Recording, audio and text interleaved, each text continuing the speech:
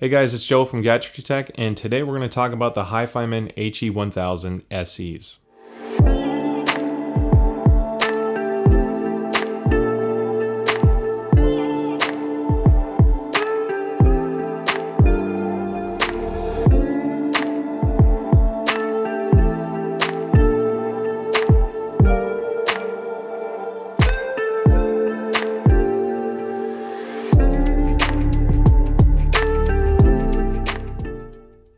Now, admittedly, I've had these for a long time, months and months. And if you've watched some of my other reviews where I've talked about things like the Schiit Hel 2 Amp DAC, um, uh, even a gaming controller from Turtle Beach, I use these in examples and reviews as much as I can because I've loved these headphones.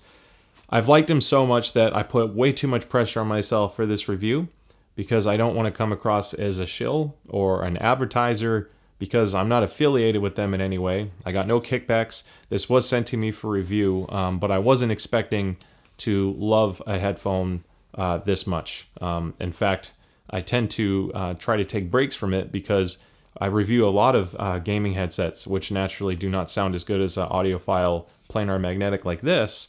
Um, and it makes the others sound so poorly in comparison that I don't want it to cloud my uh, perceptions of those headsets and headphones. So um, this is a special headphone. Obviously, the price reflects that. If you're here uh, just from subscribing to the channel, one, thank you. But if you're researching if this is going to be the right headphone from you, you should already know it's $3,500. It's not cheap. This is an audiophile headphone, um, so we're going to be focusing on it as such. Now, there are a few things I want to discuss in the beginning before we get into sound quality. And when you open the box, um, it's presented in a nice way. You know, you have the headphones are kind of put in this really nice little liner inside. Um, the three sets of cables are included in the middle, and that'll give you your XLR, your three quarter inch uh, jack, or sorry, your quarter inch jack, and the 3.5 millimeter uh, cable. So you have three different ways of connecting this for what's included in the box. Naturally, you can buy your own cables, um, but it's good to have all the options right away. Uh, aesthetically, this isn't the most pleasing looking cable. Uh, it's kind of a semi-transparent, foggy uh, clear coat, if you will. It makes kind of a weird texture noise to it. Uh, but sound quality wise, I was still really happy with it. I didn't feel like I had to upgrade because I was missing something. Um, and I didn't have any static issues or anything with movement either. On that note, uh, just so I don't forget, there's another uh, cool feature that they did with the HE1000 SEs, and they put it at a 10 degree uh, angle, the jacks for your audio cables. By doing that, it's not pointing straight down at your shoulder. Some headphones, especially depending on the design, can put the audio cables pointed straight down at the bottom instead of forward or back. Um, when you move around, sometimes uh, with some headphones, you can uh, feel the cable or even the plug sometimes going to your shoulder. So I like that it's forward.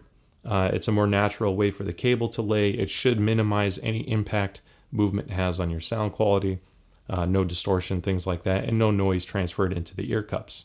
Now you saw the way I was just wearing these. Um, comfort is excellent, so there's a few reasons why. Um, it has a nice clamp force to it. It's very linear, and that's super important because when you buy a $3,500 headphone, you don't want it to fit certain heads uh, much better than others. So small head versus large head. Um, some headphones and headsets or whatever you use, um, they don't have a linear clamp force, which means they have a little bit of give. Then you get to here and it's a lot tighter. Uh, you're hitting a, a, limit to where their headband was designed. And as a result, people with larger heads uh, are often played with much higher pressure. Um, results in discomfort, you know, things like that. So some manufacturers have just said, okay, let's just put a better ear pad on there. Um, but they're not fundamentally looking at um, a redesign of the headband. This type of design presents a very natural linear clamp force, so depending on your head size, it should fit you very comfortably. The other nice thing is they have asymmetric ear pads. They're not perfectly flat ear pads. And by being asymmetric, it contours naturally to the shape of your head and ears. In addition, of course, to having full rotation in either direction and a large uh, array of tilt capability. So regardless of what your head size is, um, this should fit extremely well. The ear pads are also extremely deep. The thicker side is over an inch thick, and the more shallow side, where it gets a little bit less uh, deep, that's about three quarters of an inch thick. So if you like deep ear pads, you don't want to feel your ear touching the driver or the baffle in front of the driver. Um, you don't have to worry about that with this. Um, they are huge. You can still swap the pads. They're not glued on or anything. So if you want to roll pads or either change the sound signature, I guess, or change the way the comfort is and the feel, you can do that. However, um, these leather pads to me have been excellent. Uh, I've had no thought process whatsoever of, of trying to swap these out because I'm really happy with the way they sound out of the box. Um, you do have that, you know, kind of a two-way fabric, if you will. You have your your leatherette here and then a softer cloth material that helps with breathability. Um, these are very much open back. Like if I shine my light through it, you can see through it, obviously. Um, the open back helps with a lot of a lot of things, um, mainly for the soundstage. Uh, but this isn't obviously meant for travel. Between needing to be plugged into something and their size, these things are huge. And the way this is designed, that's not something that um, uh, I guess fits and conforms to your head as uh, tightly as possible. Um, and because they're open back, you're going to hear a lot more noise around you. And if you turn these up, people around you are going to hear your music uh, very clearly. Not the best for travel, but for home use, they're they're designed to give you the best possible music listening experience at home in this price range. So I'm glad I waited to dive into the sound quality part and review this for you guys because and girls because originally when I got this my experience with super high-end headphones was somewhat limited. You know, I'd heard some stuff at a Best Buy or some friends, um, but I never owned a pair uh, to this caliber. Now, uh, by waiting, I was able to go to CanJam, uh, which is a headphone show, and I was able to listen. I spent a lot of time there, like two days, and I was able to listen to, you know, probably 50 plus headphones for extended periods of time. Pick some favorites, spent more time with those, of course. Um, it was really cool to see these there because seeing people's reaction to them when they put them on, most people don't expect this to sound the way they do, and it's all good stuff, but the sound quality is phenomenal. So, we're going to get into all that. Um, I'm going to just cover a couple minor things real quick so um, you're aware of these terms and what they mean, and then we'll get into everything that I love and truly love about these headphones. All right, now before I get into sound quality, which is my favorite part to discuss with these naturally, um, there's a few cool things I want to mention. Um, planar, there's four general categories of speakers or um, sound production technologies, if you will, for headphones. And if I miss something, I'd love a comment uh, below to let me know that this other cool stuff exists, and I'd love to learn more about it. But you have your traditional driver, you know, a 50 millimeter driver, for example, traditional magnet, voice coil, etc., and that moves forward and back. You have planar magnetics, which uses a diaphragm suspended between magnets, uh, very close proximity, and the goal is to have full control over the diaphragm to produce ac sound accurately. We're getting ahead of myself, but that's the way they work. Then you have electrostatic uh, headphones, um, like Stax headphones. They require special amplifiers to work correctly because they're electrically charged.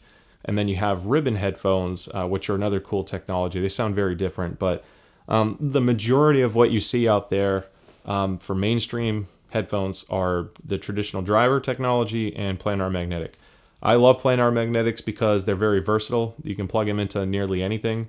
Um, but you get really, really high end audio quality if it's done right. So there are a few things that HiFiMan has applied either from concepts or experience they've had in other headphone models, um, whether it be higher or lower. Uh, they put it into this and it's producing a very transparent sound. So part of that is the whole window uh, shade or window screen, they call it.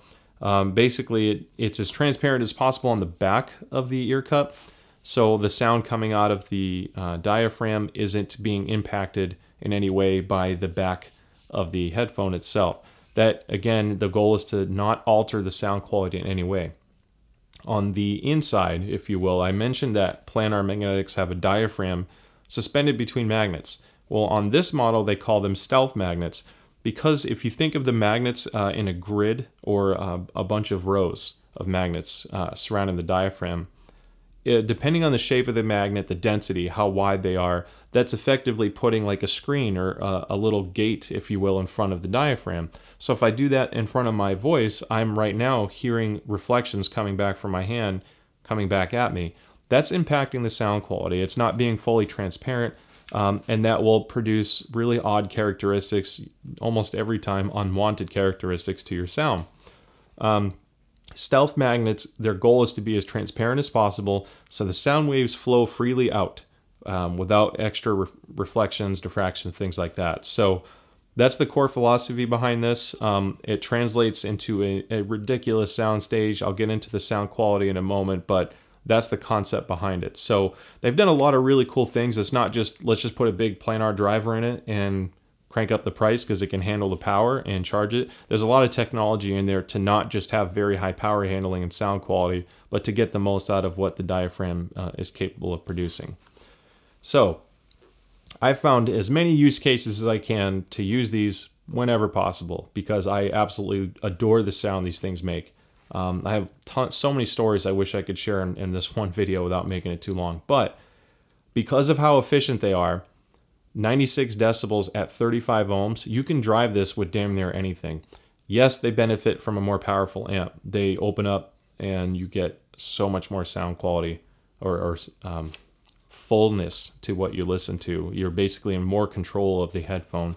So they benefit from that. But if you plug this into an iPhone, that's using a little lightning to uh, headphone jack, like $10, $15 DAC, um, they still work fine. If you plug this in, I've, I've actually reviewed this with gaming products. That's why I have a little mic mount here for my Antlion mod mic, because this is like cheating if you use this as the, the best gaming headset on the market, which they can be. Um, but they work with a gaming controller. They can plug directly into a computer, but at that point use a real uh, headphone amp but they're just they're so versatile because of their sensitivity and the way their natural sound signature is you don't have to eq it you can eq it to fit or i guess address any nuances with the sound or make it fit your preference more but they sound incredible out of the box. So regardless of what you plug them into you're not going to be dissatisfied with the sound.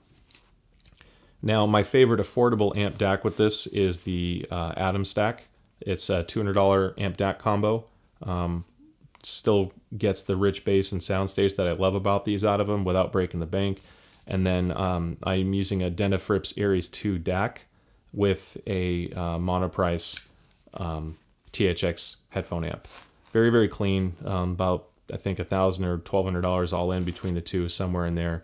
Uh, and that's really, to me, it's been more than enough for these. So, with that being said, let's get into the sound quality because the first thing I noticed when I turned these on and started listening to some music is how good the bass was.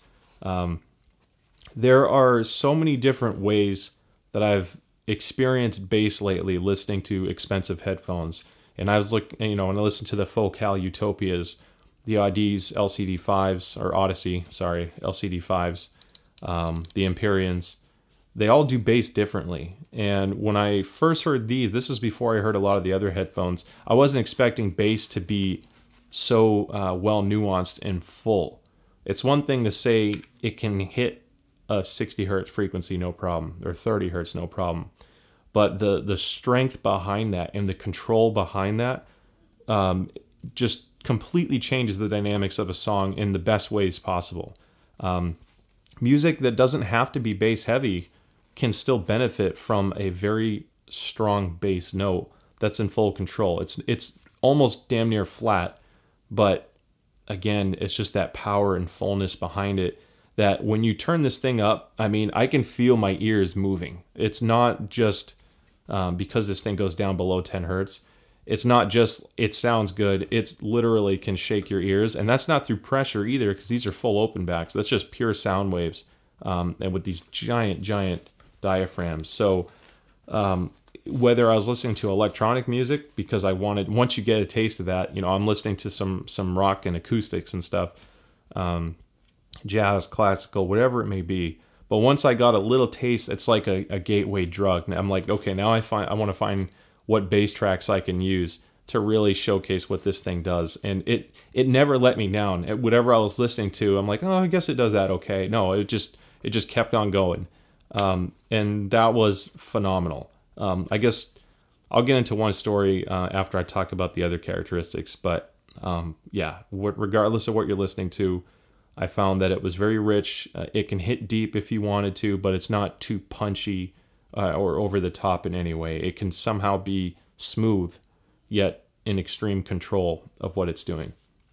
When you get into the mids, they are almost perfectly flat, and not flat in a dull, um, laid back, lack of detail kind of way. Flat as in, regardless of what kind of voice you're listening to, I found that um, they sounded like you know it is a live performance. I'm right there with the artist, and um, it, they're speaking to you as opposed to you're just listening to some music.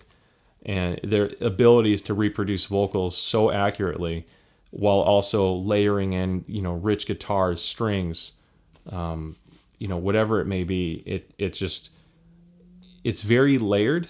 Um, very present, but not overdone or overexcited in sound reproduction. Um, so again, extremely versatile.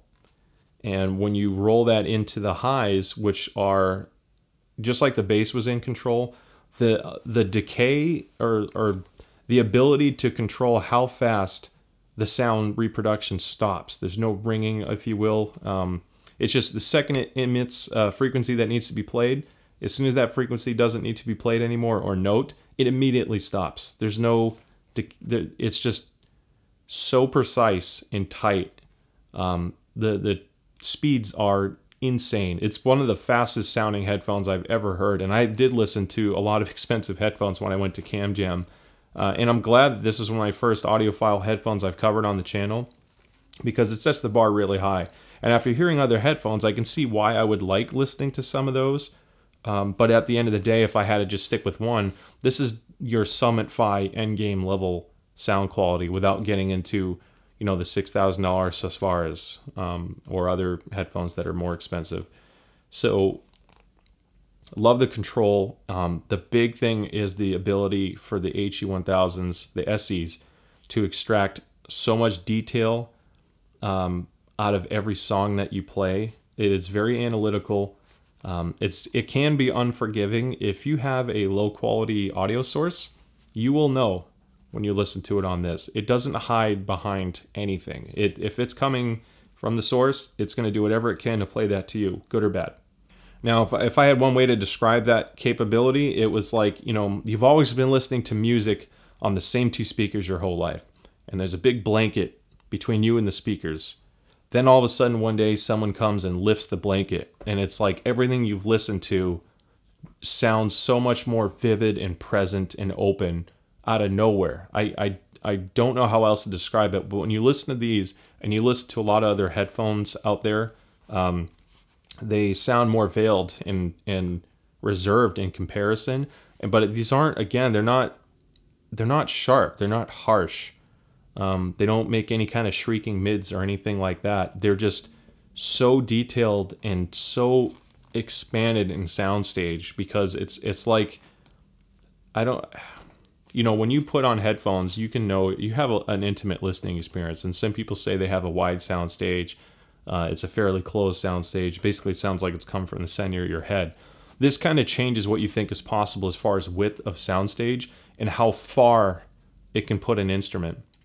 If you're playing Call of Duty, this is a totally off the wall type example, but how far can I pinpoint the footsteps? How much directional accuracy do I have of where the enemy is sneaking up on me? If I'm listening to an orchestra, can I tell not only uh, what kind of instrument, you know, what cello is it? Um, how I can hear the the bow moving across the strings. Um, it's almost like you hear every little nuance in the sound that that originally you were okay with not hearing before because you didn't know what you were missing. Um, but it kind of makes you re-listen to a lot of music again because you hear stuff you haven't heard in the past.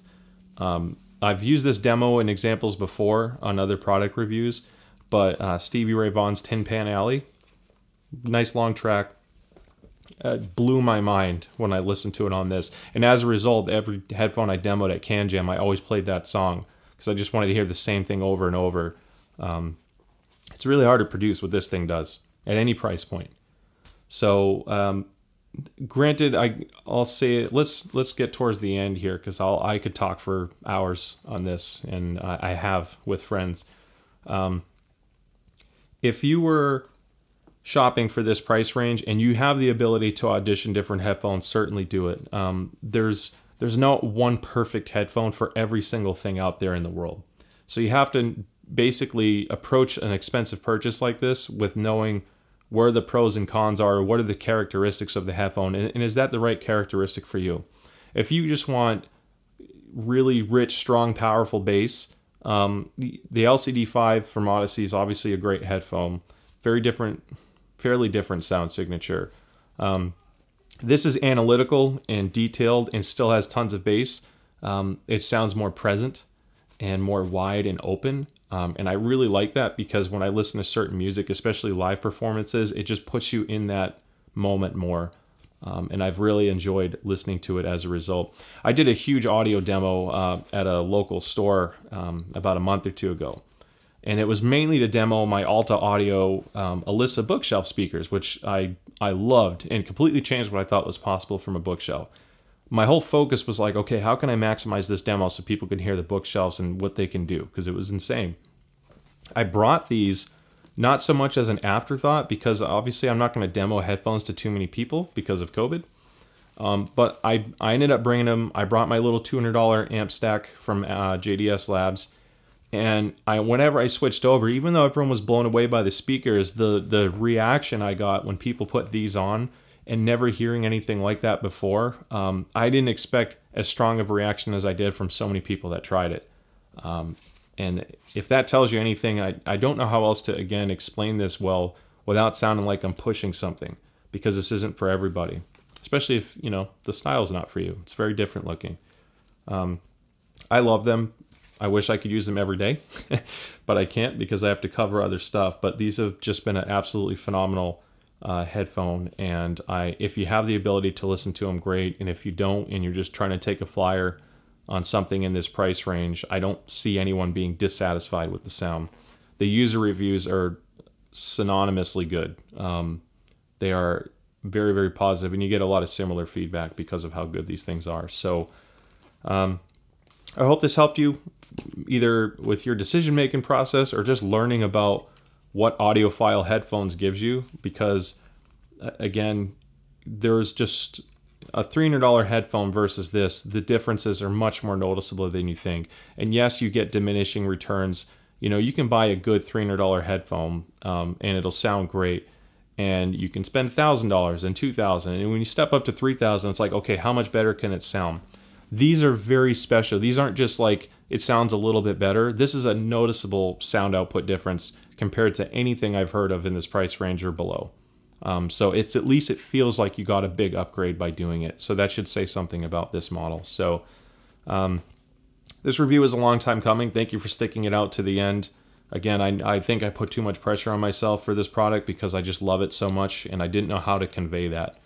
Um, but I hope you found it helpful. Don't forget to like and subscribe. We have um, I'll be reviewing the amp DAC I mentioned earlier from Denafrips um, and the Monoprice one, uh, among other many other products that have come in recently. So, um, building a new studio soon. That'll be done this summer. So expect a lot more content later. Um, thank you all so much for the support. Part of the move is because of you guys and girls.